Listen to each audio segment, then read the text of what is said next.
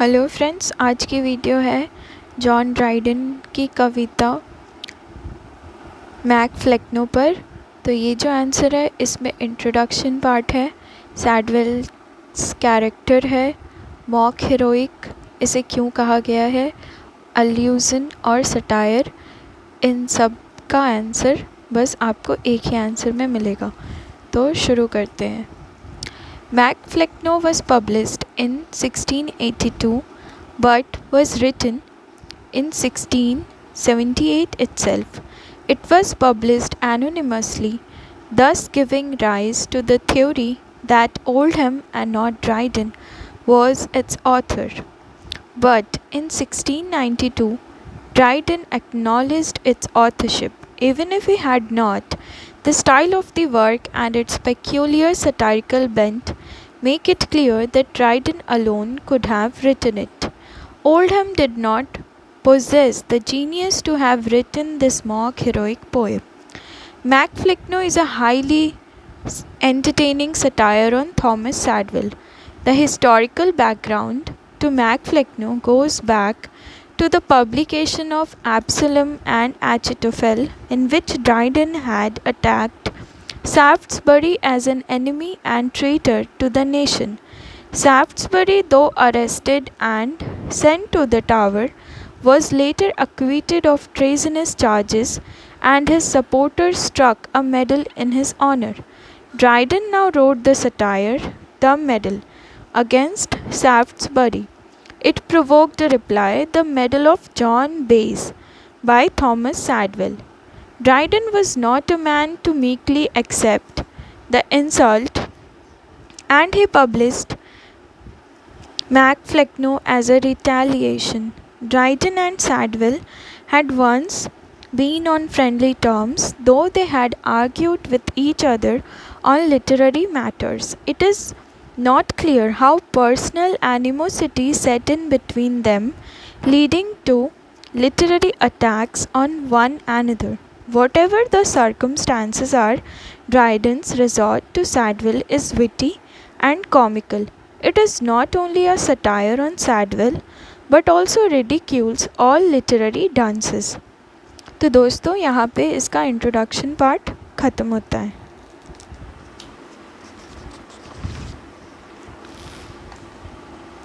अब यहाँ से शुरू होता है रिचर्ड फ्लेक्नो का कैरेक्टर जो कि आप इंट्रोडक्शन के बाद कंटिन्यू कर सकते हैं Richard Flecknoe 1600 to 1678 was an English dramatist and poet.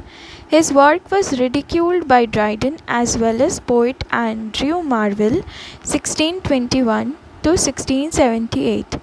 In Mac Flecknoe, he is the cast in the fictional role of the king of nonsense. He is getting older and decides he must appoint a successor in one of his sons. He chooses Sadwell because he is most like him. He is dull and devoid of wit and sense. Dryden calls him the dullest son of Flecknoe. Sadwell alone of all my sons is he who stands confirmed in full stupidity. The rest to some faint meaning make pretence, but Sadwell never deviates into sense. Some beams of wit on others other souls may fall, strike through and make a lucid interval. But Sadwell's genuine night admits no rays, his rising fogs prevail upon the day. Sadwell was a born enemy of wit, sense, and intelligence. To add to it, he took an oath at the coronation ceremony. So Sadwell swore, nor should his vow be vain, that he till death true dullness would maintain, and in his father's right and realm's defense never to have peace with wit not truce. तो दोस्तों Richard फ्लेक्नो जो है वो सैडवेल के पिता होते हैं इस पोएम में। तो ऐसा होता है कि अब रिचर्ड फ्लेक्नो बूढ़े हो रहे हैं तो अब उनको अपनी गद्दी पर किसी और को बिठाना है। तो उसके लिए वो जो उस लायक है, उस गद्दी के लायक है, वो उनको अपने बहुत सारे बच्चों में से चुनना होता है। तो सैडविल जो है, वो एक ऐसे व्यक्ति हैं जो जो कि जन्म लिए हैं विदाउट विट सेंस और इंटेलिजेंस के। तो इसीलिए ड्राइडन को लगता है कि उनके सभी बच्चों में से सैडविल ही उस लायक है कि वो उस गद्दी पर बैठे। तो बेसिकली ये एक सटायर है जो कि ड्राइडन ने लिखा है सैडविल पे। और ये ये ये उनके जो, उनके बीच जो पर्सनल दुश्मनी हुई थी, उसी उसी वजह से उन्होंने ये कविता लिखा है उनको मॉक करने के लिए। अब यहाँ से ये पार्ट है जो पढ़ के आपको पता चल जाएगा ये ये सटायर और मॉक हीरोइक क्यों हैं। All these lines fully illustrate that Mac Flecknoe is a personal satire Shadwell is a dullard a slow writer fat in body and hollow in intellect and above all a plagiarist he is a man who has to make no effort to be dull Dullness was absolutely natural to him. He is attacked for his clumsy composition and bombastic language. Dryden ignores the plus points of his rival, for instance, his keen insight into human nature and his acquaintance with the foibles of individuals. All this indicates that Mac Flecknoe was certainly motivated by personal enmity. The satire is certainly a personal attack. There is indeed a poetic impulse behind Mac Flecknoe. It shows the remarkable ability to transform the ridiculous into poetry. The mock heroic technique is very well used. Brilliant imagery, too, is to be found in the poem especially in the comparison of Sadville to the monarchs and to Arion and to Hannibal, it is a comic genius of great ability that is at work in Mac Flecknoe. Sadville himself is a supreme comic creation, though it would be an exaggeration to class him with Shakespeare's Falstaff. The imaginative structure of the poem with the fantasy of a coronation at the center is at once pleasing and effective for satiric purposes.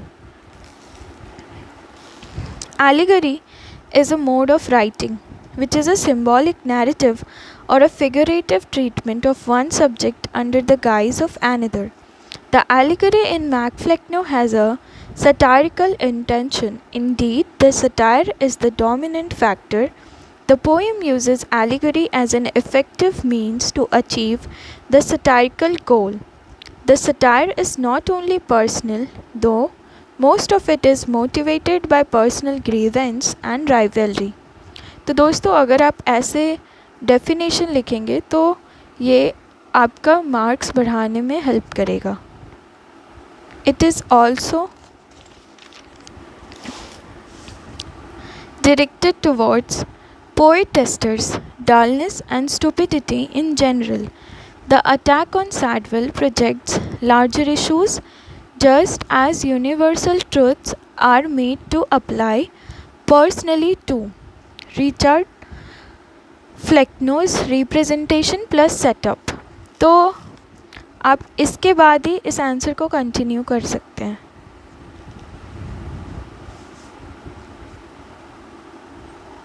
The, open, the poem opens with a fictitious setup. Mac Flecknoe means the son of Flecknoe. Richard Flecknoe, Sadwell's literary father in the poem, is the aged monarch of dullness, was in real life a Catholic priest and a versifier. Andrew Marvell had satirized him playfully in Flecknoe, an English priest in Rome. The wits of the day generally regarded Flecknoe as an object of ridicule. By the time Dryden chose him to be the father of the Prince of Dullness, he had come to symbolize the would be poet of poor ability. But in context of Mac Flecknoe, the father's talents in dullness, though great, are not to be unique. The son is greater in the field of dullness than the father. Flecknoe accordingly is only the prophet precursor of the true epitome of uni- unrelieved ignorance and stupidity.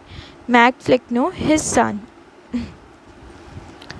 Richard Flecknoe is contemplating on whom to choose from among his numerous progeny as a fit successor to his throne and realm of nonsense. The situation embodies every aspect which Dryden could desire to exploit in his satire of Shadwell. Who better could be found for the throne of nonsense than Sadwell, who never deviates into sense? At the same time, the fictitious setup enables Dryden to attack the low literary qualities of the day. Flecknoe's speech on his decision to choose Sadwell as his successor is fraught with ironical barbs. He is made to dwell on the supposed merits of his son, his superiority in dullness and stupidity, his pretensions to music and verse, his supreme incapacity to be intelligent. Flecknoe triumphantly declares, Sadwell alone my perfect image bears mature in dullness from his tender years. Sadwell alone of all my sons is he who stands confirmed in full stupidity. Conclusion of Richard Flecknoe तो यहाँ से शुरुआत होती है Richard फ्लेक्नो के conclusion का। The hero of the poem is a fool and the lot Dryden's treatment make sad Shadwell give vitality of the principles of folly enunciated by aged monarch at the same time that he received the meaning by exemplifying the essence of natural stupidity. He is depicted as the dying monarch of nonsense, bequeathing his title to the playwright Thomas Sadwell. The attack is unex- unexpected since Flecknoe had written an epigram in Dryden's praise and both were Catholics. Robert Southey giving it as his opinion that Flecknoe is no means by no means the despicable writer that we might suppose from Dryden's vicious attack, accounted for it by supposing that Dryden was offended at his invectives against the obscenity of the stage, feeling himself more notorious, if not more culpable, than any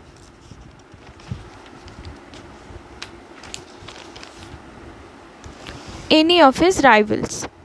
Richard Flecknoe is the first satirical portrait painted in detail next to Sadwell's. Dryden entertained no personal enmity towards Flecknoe, but he is made the father of the Prince of Dullness because Flecknoe had become a general symbol of bad versifiers and an object of ridicule. He thus represents all incomplete poets. Flecknoe's name is now so obscure that we speaks of him only as a character in Dryden's poem. He was indeed a poet of less than mediocre talent, one of those poets who purchase fame by writing ill and achieve the low sublime. The portraiture of Flecknoe as the monarch of dullness and nonsense is therefore apt and justified, but Flecknoe is the main target of ridicule in Dryden's poem. It is Mac Flecknoe or the son of Flecknoe, or is the hero of the poem. Flecknoe has merely been sent to prepare the way for a great prince of dullness. He was sent to teach the nations in thy greater name, that is in Shadwell's name. दोस्तों अब यहाँ से शुरुआत होती है illusion plus setting of coronation ये सब मैंने इसलिए लिखा है ताकि आप लोगों को समझने में आसानी हो, वरना आप ये आंसर इसको कंटिन्यू कर सकते हो।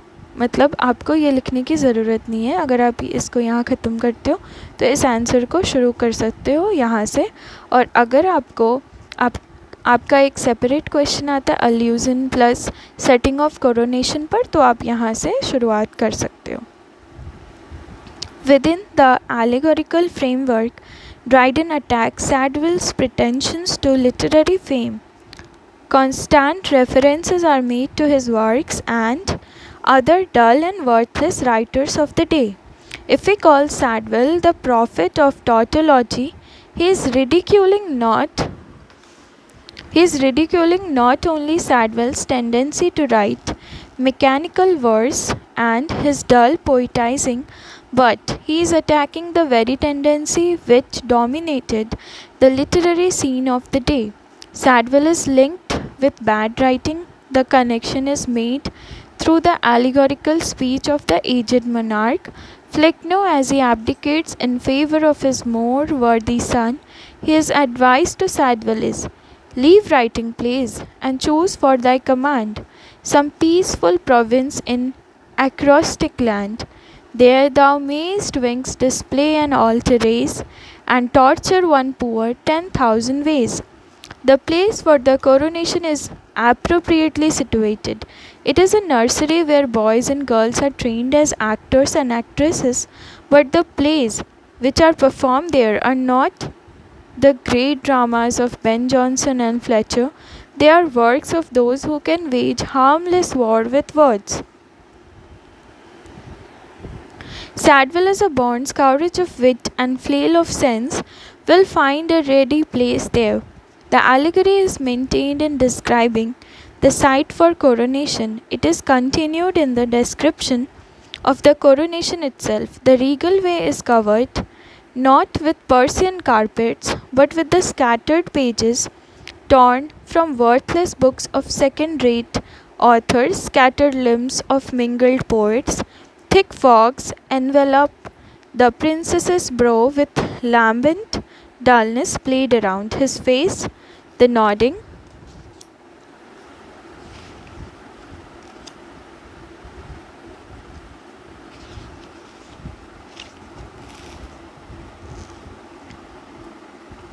nodding poppies overspreading the temples of the monarch to be the omen of twelve owls, and the anointment, the enthronement, and the solemn oath. Never to have peace with wit, nor truce with sense. All maintain the narrative situation of coronation and at the same time convey the allegorical meaning. It points to the external war of dances against good sense and intelligence. The Sadwell and Sadwell is the supreme example of such a dance. अब ये answer है allusion of owl and other allusions in the poem पर According to Dryden, no ray of enlightenment has strike through the intelligence of Sadwell as his genuine night admits no ray. Sadwell's dimness even prevents the be beams of daylight. As the poem says, his rising fogs prevail upon the day. The poem even comments upon his large stature and goodly fabric and compared his thoughtless nature with a dumb oak. The poet also portrays the images of Sadwell coming up from the Thomas themes to accept the rain to satirize the poetic feat and rhyme of Sadwell's works. Dryden sets the reign of Sadwell in the Brothill district of London, Augusta, which is surrounded by prostitutes. The mock heroic style of Dryden's satire is diminishing Sadwell while sardonically connecting him with enormity. During his coronation, the streets are filled with scattered limbs of mingled poets and their literary works, and according to Dryden, Sadwell's reign is the destruction of true poetry.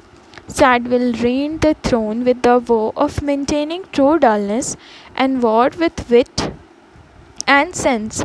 Dryden refers to the legend of twelve owls, which symbolize darkness and stupidity, and says that those owls flew from Sadwell's left hand, and it confirms the beginning of his reign.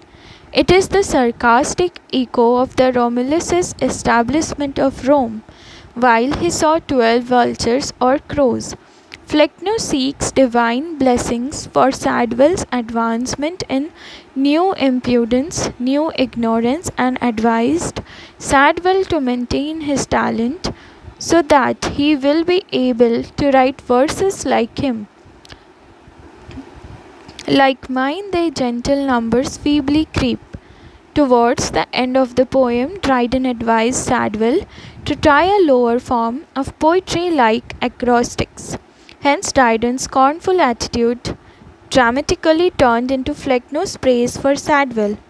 Dryden use, Dryden's use of several allusions plays a vital role in the satire, but it, it is also obscure for modern writers, as he used contemporary allusions by bringing phrases about John the Baptist. Dryden narrated the satire in the style of third person omniscient narrators of classical epics like the Iliad, the Aeneid, but gradually the poet inserts himself into the